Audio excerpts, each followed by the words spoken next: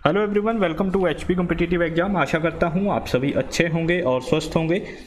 तो हमीरपुर बोर्ड द्वारा post code आठ सौ सतासी, क्लर्क के जो एडमिट कार्ड हैं रिलीज़ कर दिए गए हैं। आपका एग्ज़ाम होगा उनतीस अगस्त 2021 को, ठीक है? उनतीस अगस्त 2021 को एग्ज़ाम होगा, सुबह का सेशन है मॉर्निंग सेशन है।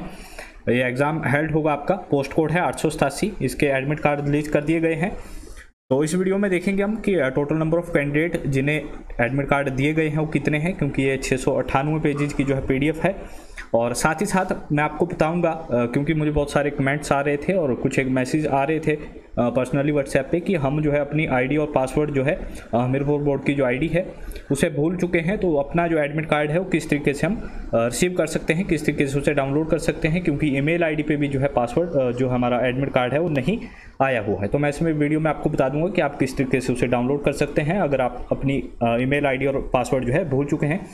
तो देखिएगा पहले इस जो पीडीएफ है, इसकी पीडीएफ आपको मिल जाएगी लिंक में लिंक दे दूँगा डिस्क्रिप्शन में, अपने टेलीग्राम ग्रुप का, वहाँ से डाउनलोड कर लीजिएगा। यहाँ पे देखिएगा आपका application ID name of candidate father name यहाँ पर रोल नंबर है आपका और एग्जामिनेशन सेंटर जो आपको अलॉट किया गया है वो। अगर आप अपनी आईडी और पासवर्ड भूल चुके हैं तो आपको यहाँ से देखना होगा अपना एप्लीकेशन नंबर ठीक है? जैसे आप इसको मोबाइल में ओपन करोगे ना, इस पीडीएफ को तो आपके मोबाइल में जो पीडीएफ व्यूअर है, उसके ऊपर सर्च का ऑप्शन आएगा। वहाँ पे आप अपना नाम सर्च करोगे तो डायरेक्टली जो है, आपके नेम के ऊपर आपको लेके चल जाएगी पीडीएफ और उसके आगे जो है आपको इस तरीके से एप्लीकेशन आईडी जो है, देखने को मिलेगी। ये एप्लीकेशन आपको आई जो है, आपको वहाँ से कॉपी करनी है। तो इस, इसी से जो है आप बाद में अपना एडमिट कार्ड डाउनलोड कर सकते हैं। अगर आप ईमेल आईडी और अपना जो पासवर्ड है, वो भूल चुके हैं अब यहाँ पे देख लेते हैं कितने कैंडिडेट को जो है पास, जो आपके एडमिट कार्ड है, वो अलाउट हुए हैं। तो यहाँ पे देखिएगा सताईस हज़ार नौ सौ उनतालीस। सताईस हज़ार नौ सौ उनतालीस, यानी लगभग मान के चले हम अट्ठाईस हज़ार बच्चे, ठीक है? तो इसमें जो है टोटल मिला के चौदह पोस्टें थी आई थिंक जनरल अनरिजर्व की, ठीक है? जनरल अनरिजर्व की अगर हम बात करें तो इसमें चौदह पोस्टें थी क्लर्क की और डीसी चंबा के अंतर्गत। तो यहाँ पे जो total number of admit card release किए गए हैं, जो जारी किए गए हैं जिन बच्चों को, वो है सताईस हज़ार नौ सौ उनतालीस। ठीक है तो इतने कैंडिडेट जो है इस परीक्षा को देंगे। अब हम देखते हैं कि डाउनलोड किस तरीके से करना है आपने। तो क्रोम के ऊपर मैं आपको ले चलता हूँ। तो देखिएगा, हम आ गए हैं हमीरपुर बोर्ड की वेबसाइट पे। ठीक है तो यहाँ पे हम देखेंगे कि अगर आप अपनी लॉगिन आईडी और पासवर्ड अगर भूल चुके हैं हमीरपुर बोर्ड की वेबसाइट का तो किस तरीके से आपको एडमिट कार्ड जो है वो डाउनलोड करना है। तो जब आप हमीरपुर बोर्ड की वेबसाइट विज़िट करोगे तो मेक श्योर sure कि आप इसे गूगल क्रोम में ओपन करें और साथ के साथ जो है, आप अगर मोबाइल में ओपन कर रहे हैं तो उसे डेस्कटॉप व्यू में देखिएगा, ठीक है? डेस्कटॉप व्यू कीजिएगा, उसमें देखिएगा तो देखिएगा, सबसे ऊपर आपको एक बार दिख रही होगी home about us notification R T application status और लॉगिन ठीक है? लॉगिन उनके लिए है, जिनको आईडी पासवर्ड पता है तो अगर आपका लॉगिन आईडी है आपके पास तो सिंपली लॉगिन कीजिएगा। वहाँ पे जो है आपको अपना एडमिट कार्ड देखने को मिल जाएगा। ठीक है, अगर आपके पास आईडी और पासवर्ड नहीं है तो आप जाएँगे एप्लीकेशन स्टेटस के ऊपर। इसके ऊपर आप जैसे ही क्लिक करेंगे तो यहाँ पे मांगेगा आपके एप्लीकेशन आईडी तो एप्लीकेशन आईडी कहाँ से मिलेगी? जो पीडीएफ मैंने प्रोवाइड कराई है इससे पहले। ठीक है, वो चाहे ट्रैफ़िक इंस्पेक्टर की हो क्लर्क की हो, कोई भी आपका एग्ज़ाम हो ठीक है? अगर आपने आपको आईडी और पासवर्ड भूल चुके हैं, आपको एडमिट कार्ड डाउनलोड करना है तो आप इसी तरीके से जो है डाउनलोड कर सकते हैं। हालाँकि दो तरीके और है, वो भी मैं आपको बताऊँगा। तो एप्लीकेशन स्टेटस पे जाओगे, आपको एप्लीकेशन आईडी मिलेगी पीडीएफ से, ठीक है? जो रोल नंबर लिस्ट आउट होती है, उसमें आपके नाम के आगे एप्लीकेशन आईडी होगी। तो यहाँ पे हम जो है डालते हैं एप्लीकेशन आईडी ठीक है, जैसे हमने एप्लीकेशन आईडी डाली सर्च करेंगे तो ये नए जो पेज है, वो इस तरीके से आपके सामने आ जाएगा।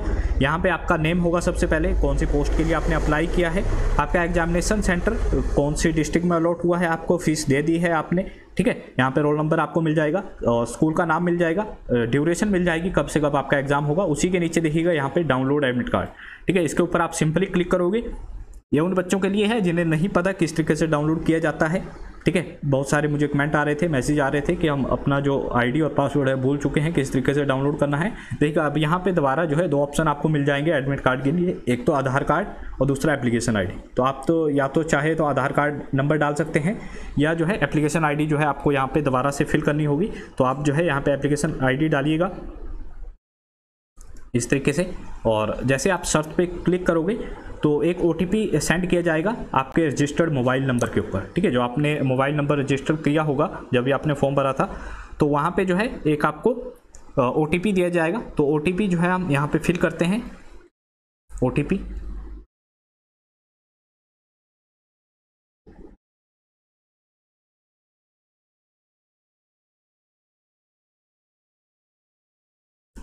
ओटीपी फिल करने के बाद डाउनलोड एडमिट कार्ड पर आपको क्लिक करना है।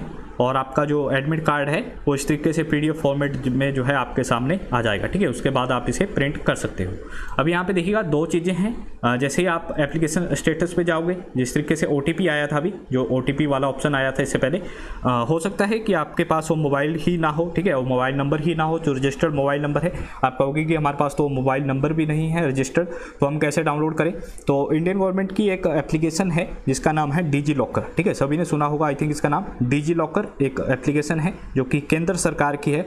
उस एप्लीकेशन को डाउनलोड कीजिएगा, वहाँ पे रजिस्टर्ड कीजिएगा अपने ओरिजिनल आधार कार्ड के साथ, ठीक है? जो आपका ओरिजिनल आधार कार्ड है, उसके साथ वहाँ पे रजिस्टर कीजिएगा।